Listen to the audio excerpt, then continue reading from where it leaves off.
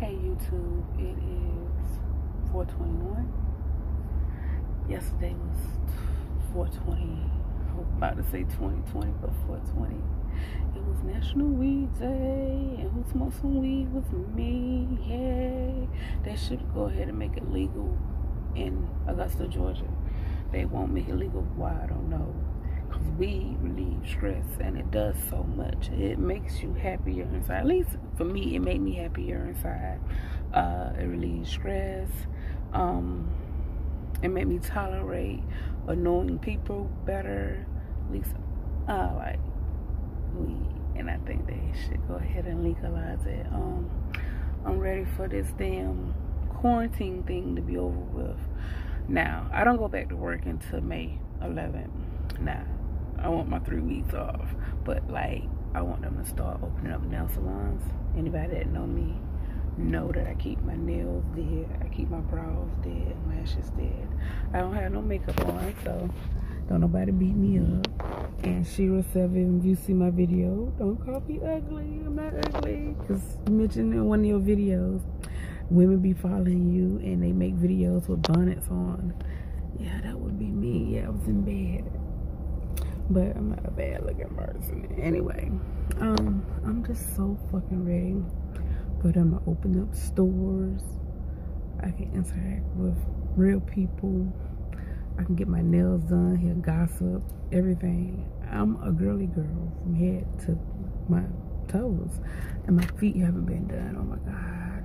I've been scrubbing my feet and putting moisturizer, lotion, and Vaseline. Not all three, of course, but I'm just so freaking over this quarantine thing. And then I was watching the news. They're gonna start opening some stuff this weekend, and then they're gonna start opening some stuff on the 30th.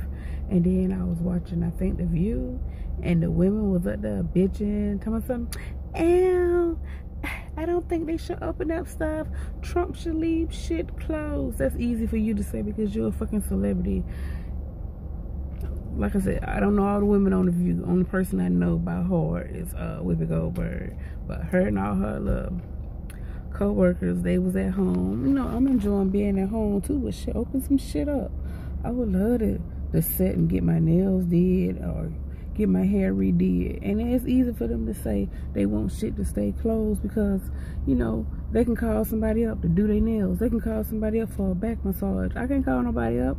I gotta look for Swan Lou to do my nails. Hell, when none of them Asian people putting their number up or slipping their number to nobody, like, call, come to my house if you want this and that done. But them celebrities on The View I'm not ready for nothing to open up. Oh, it's easy for you to fucking say. I'm ready for shit to open up. I'm ready for shit to open up today when I lost one of my nails and I had to take all of them off. I had been on for about a month and a half though, for real. That was awful. That was fucking awful.